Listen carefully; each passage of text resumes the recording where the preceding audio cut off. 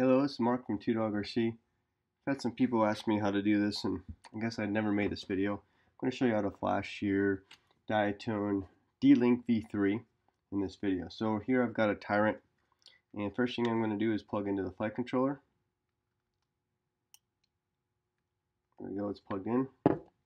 Now you see up here, this changed to SLab UART. If it didn't, that means you don't have one of two things. One, you don't have the drivers. If you need the drivers, they're right here. Download that. Download that. Mac or Windows. Windows is a little finickier. Mac is better. Uh, also, if you have a power-only cable connected to your flight controller, that would be another reason that you wouldn't see that change. So this is what you want to see. Then you know it's, it's reading your board. So again, we're doing the Diatone D-Link 3. Come over your firmware flasher. We're going to go SP rate, open this menu, you're looking for the SP Racing F3. Choose your firmware.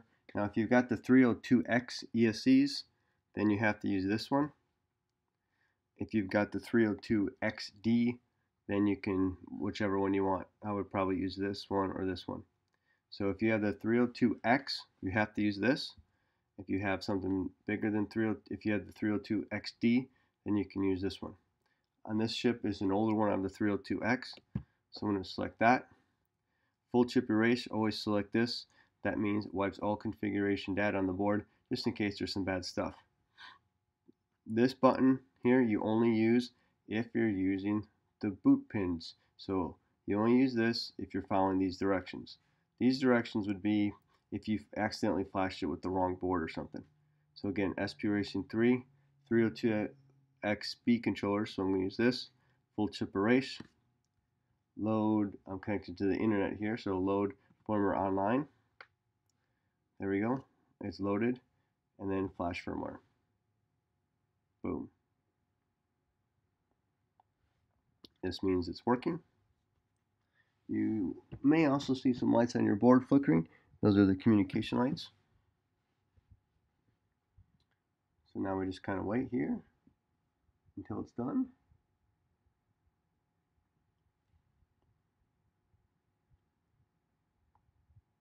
Okay, it's verifying. Do, do, do, do, do. Almost done. Alright, programming successful. So then what I do is I unplug it so it powers down the flight controller. I always unplug from the computer when I'm doing stuff like this so I don't wear out that USB connector on the board. Unplug back in. Computer welcome screen. Connect and voila, you should see everything moving and you're good to go. If you want to know what version uh, Betaflight you're running, it's, it's right here. Uh, there's two things you need to know. Well, well, yeah, there's two things you need to know. What kind of firmware is on it and what version. So if you don't know, you can come over here to CLI, type version, and this says SP Racing F3, so that's the firmware, and it's on version 3.0.1. If you ever get a board you're not sure what to flash it with, you can just do plug in, do this, and it'll tell you what's on there. So that's how you do the D-Link V3. This is the board that came on the 2016 GT2 and the current Tyrant S boards. Thank you.